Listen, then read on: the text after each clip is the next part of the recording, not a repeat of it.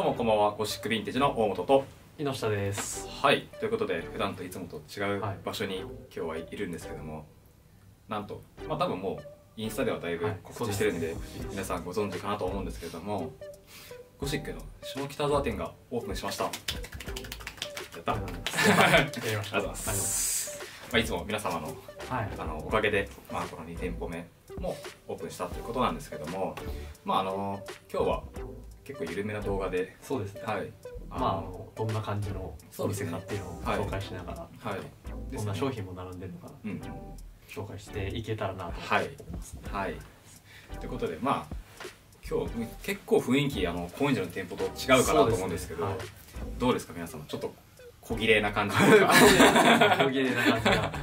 ちょっと高円寺はまああのザ・ミリタリー倉庫みたいな、うんちょっと匂いもしますけど、はい。こっちはちょっとこんな感じで、はいセレクトショップにちょっと近いようなはい。感じの、まあ、雰囲気あるかなですね。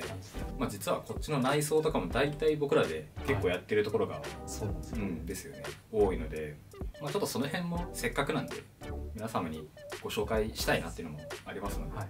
ちょっとその辺も見つつあとは商品どんなのがあるかっていう感じでやっていきましょう、もう早速早速いきますか。そうそう行きましょう。はい。はい。じゃあまずちょっと外側からあのせっかくなんではいですね。見ていこれあの実は僕ら契約した時に最初壁がなくていですね。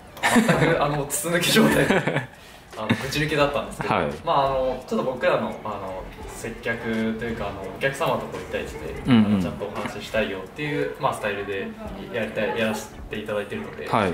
なんかこうあんまりこう筒抜けでガヤガヤしてるところだとちょっと僕らはあんまり嫌だなっていう感じがあったので、うんうん。まあ、壁は立ててもらってただ塗装に関しては僕らでそうですね。はい。で本当にこれちょっとバーッと引いてもらうとあれですけど、まあちょっと白基調にしてはい。で上は黒で。黒はい。でゴシックって、ですね。はい、名前を入れてます。これかっこいいですよね。そうですね。あの イギリスのちょっとまあお店っぽいというか、はいはい。そういうのをしたいな、まあ、ヨーロッパの店っぽくしたいなとうんう思って、んあのいろいろ見てたらなんかこういうステンシル結構上にまあちゃんと金属で看板つけてるやつですけど、はい。あったんでかっこいいなと思ってちょっとステンシルっぽくそうですね。このちょっと気持ちかせれてる感じとかも。そうですね。これはこれでかっこいいですよね、はい、あの本当はもっとあのピシャーってやろうと思ったんですけど、はい。あのムラが出ちゃってはいはい。あの動きがなんですけどまあそれがかすれてるぐらいがいいかな、うんうん全然いいと思います。でこれドアなんですけど、はいドアはイギリスのこれもヴィンテージのドアで。ヴィンテージのドそうなんです。ちゃんとこれポストも実はア使えるようになってて。はい。中に入れるとこうちゃんと物がポストうんうん。にポッとして使えるっていう感じで。ドアに合わせてこう壁も作ってもらって。ですね。こう本当は全部白く塗装するつもりだったんですけどドアが黒なんでね。はい。この上だけ。上だけはい。黒くして。じゃあ早速中を。はい。ちょっとねこう高さが足元ありましてここをこうステップを降りる感じですね。はい。入店する際は足元にお気をつけください。ですね。ちょっと気をつけていただかないと。ちょっと一旦ぐるっとこう回ってこんな感じで。ちょっとめちゃくちゃ三脚立てちゃってるけど。はい。っていう感じですね。じゃあまあ軽く商品もどんな感じのものがあるかって感じでちょっとやっていきましょうか。はい。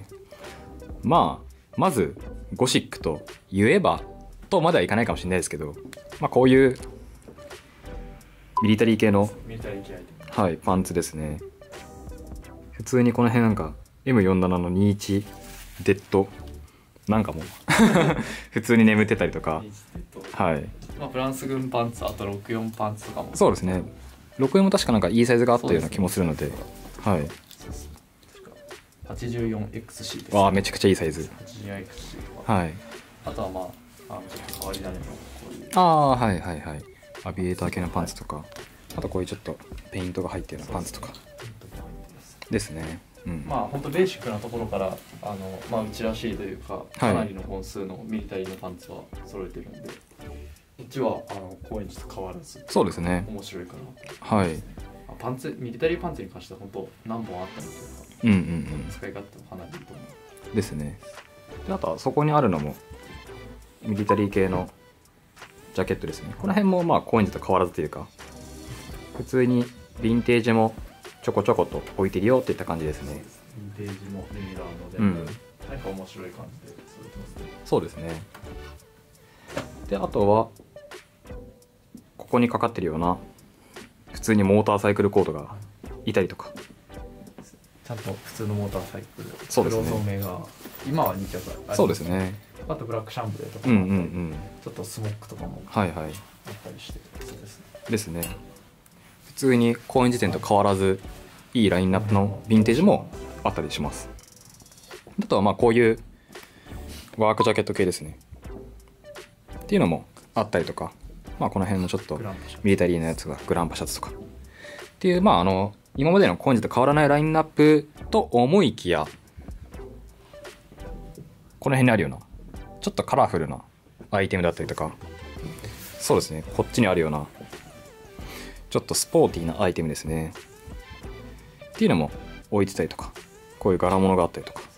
今までの高円寺には意外となかったようなまあグッドレギュラーって言ってもはい。いいのかなと思いますけども、はい、そういうようなアイテムもヴィンテージと混ぜつつで置いてるようなお店となっておりますということでいかがでしたでしょうか？はい。普段こう、うんミリタリーとかこう、はい。ワーク系でこうガチガチ固めてったり、うん。あとはまあなんかそっちからあのファッションにこう入っていったけど、なんかこうレギュラーもなんか手出してみたいけど、はいはい。今更なんかこう若い子多いよう古着屋さんに行くのもなみたいな、はいはい、ちょっとそういう方にうん、ぜひそうですチャレンジしてほしいというか、うん。あの来ていただいて。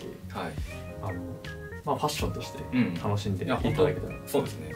まあチェーン店とかもそうですけどたくさん雑手に置かれてる古着屋でこう全部探していくのって 結構大変なんですよね。疲れますね。そうなんですよ。疲れます、まあそれも楽しみの一つではあると思うんですけど、まあ結構疲れちゃうなあんま得意じゃないなって方も多いかなと思うので、まあ、そういう方はあのこういうふうにちょっとある程度厳選されたものでそうですうん、置かれてるところで見ていくで普段とちょっと違ったもの自分が普段見てなかったものとかも見てみたいなって方はすごい楽しめるかなと思うので、はい、ぜひそんな方に来ていただきたいなと思います、はい、こんな感じでちょっとざっくりと、ざっくり。はい、商品紹介をやらせていただきました。はということでぜひ、はい遊びに来てはい、ください。ですね。ぜひお待ちしてます。お待ちしております。ということで、インスタグラム概要欄に載ってるかなと思いますので、ぜひそちらフォローよろしくお願いいたします。ということで、また次回の動画でお会いいたしましょう。じゃあね。